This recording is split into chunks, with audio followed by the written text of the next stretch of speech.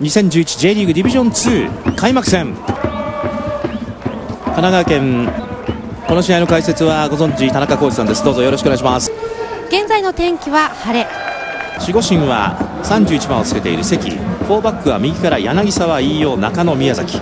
中盤の底にフォワード登録の横浜 FC のサブスティテューツです。シュナイダー淳之介が控えています。エデルそして高知。さあこの赤い帽子がトレードマークとなりました。アウェーのカターレ富山のメンバーをご紹介していきます。ゴールキーパーが内藤です。アスケ吉井池畑システムです。カターレ富山こちらがサブスティテューツです。あるいはチリのね、はい。あのシステムですけどもうん。非常にこえ今日の審判団をご紹介してまいりましょう。出身が 2011J リーグディビジョン2第1節横浜 FC 対カターレ富山1 8 0センチを超えています。正面に入ってきたボー。ル横切っていった。ボレーシュート。濡れてコントロール。黒部が逆サイドに展開します。う面白いボールですよ。苔口。苔口。苔口。いや大西洋平が蹴ります。カーブしてきたボー。ル正面。どうだ打てるかこれはゴールキーパー防いだね。7番の朝日大関健太郎です。そしてまたカターレ富山のアンマ監督。あの甲府で見ていた選手たちがたくさん加わっています。ね。さあここアドバンテージを見ているレフェリー。ナンバナンバのシュート正面。セットプレーは8番の大西です。逆サイドを狙ったボール。ヘディング競り勝ったゴール前。苔口落としてフリーだ。どうだ？ここはブロックファビーニョそしてミドルシュート浮いてしまいました。りをねやっぱりペナルティーエリアの中に。ボールを拾っていきます。前線では藤田と難波が待っている。フリーダクロスはニアサイド難波。ここで富山大きくクリアしている。先ほどのリプレイです。ね。あこれたボールに反応しました。内藤です。まあ、そのあたりも含めてですよね、あ大きくサイドを変えていきましたこのボールはつながりませんでしたがあ柳沢が前から詰めていく。ゴール前どうだ？先制横浜 FC 決めたのは25番藤田義人。ゴール前枠に捉えてきました。今ね本当に柳沢の粘りですよね。彼の良さが出ましたね。その柳沢にお子さんが誕生しました。柳沢走ってきました。そうなんですね。このボールをね、はい。要するに処理をね遅いんですよねこれ、もう2番3バウンドぐらいさせてますから、田中さんあの、はい。ここで藤田はひょっとすると自分のところにゴールが来るんではないだろうかという、柳沢が来たんでね、ちょうど待っていたらそこに、まあ、ディフェンダーっていうのはね意外とそういう選手が多いですよね、さあ2人がかりでボールを奪ったか。あチャンスね。大がない苔口だ。さあこういったチャンスを決められるか。苔口苔口!カターレ富山追いついた。一度はポストに当ててしまいましたがその後冷静でした。早かったですね。拓也です。いうので本当にこう大西のプレッシャーがね、はい。効いてパス一つですよね。この後もねゴールかと思ったんですけどねその後もしっかり自分で詰めて落ち着いて決めましたね。ゴールキーパーの動きをよく見て少し浮かせました。最初のシュートはポスト今シーズンこのカターレ富山にやってきました。大西。正面に来たボール。ヘディング。合わせたのはキャプテンのアスケ。黒部のその上あのアンマから出されています。佐藤が蹴ったボールはゴールに近づいていく。いやーいいボールでしたね。飛び込んできますね。まあ、この辺が難波の持ち味です、あの怖いもの知らずというか、今ほとんど時間がありません。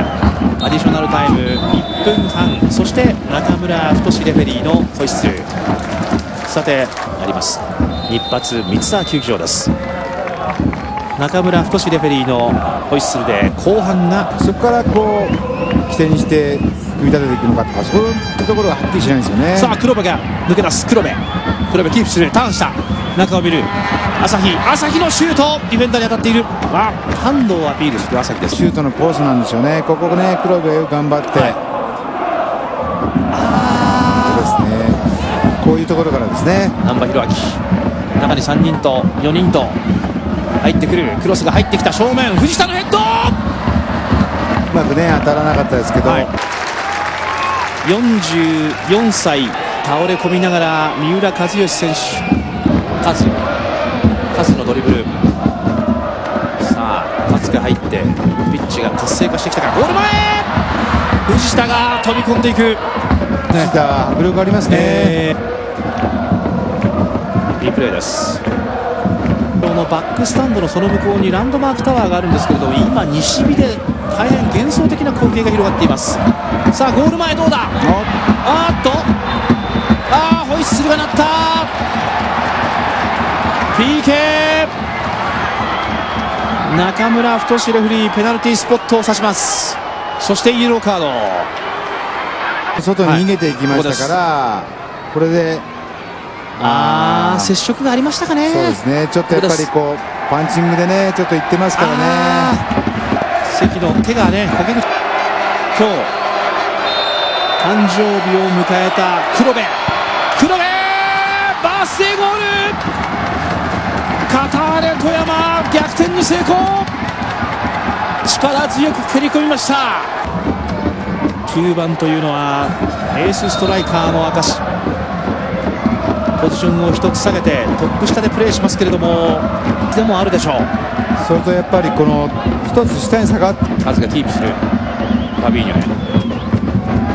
中央柳沢正幸。ー。ロングシュート!クロスバー!もう一度柳沢。リプレーです。いや打ちましたからね。ー角度を変えて。あボールがほとんど回転していません。選手が準備をしています。しそして17番木本が入りました。カターレ富山ボールをキープしているのは三浦和5番の船津が入りました。滝はかなり高い位置でプレーしています。いますね、はい。さあ木本が行く。交代で入った木本。折り返してくる。朝日のヘディング。もう危ない。チャンスだったし、えー。危なかったですねこの17番の木本圭介、はい。スピードがあります。ね諦めずに行きましたよね。そしてカズがフリーになる。三浦和カズのドリブル。さあどうする？2回3回またぐ。そしてスタンドが沸く。カズに対するファール。さあどこに合わせてくるか。三浦和ニアサイド。ファビーニョ。まだあるか。ペナルティーエリアの中ファールだ。ファールだ。横浜 FC のファールだ。待ってきた。飯尾も来た。藤田正人ファビーニョがボールを受け取る。そしてクロスが入る正面に来た。藤田こぼれている。藤田義人。打てるか野崎。藤田藤田義人。藤田がキープする。なんとかここでしのいだ富山。そしてこのボールをつないでいくか。三浦和田。中を見る。クロスが入る。シンプルなボールだがファーサイド。船津のクリア。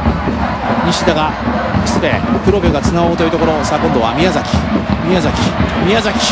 ドリブル。宮崎!内藤が止めた!中野でしたね。2分を今回りました。主審の中村太さんのホイッスル。ガッツポーズは9番の黒部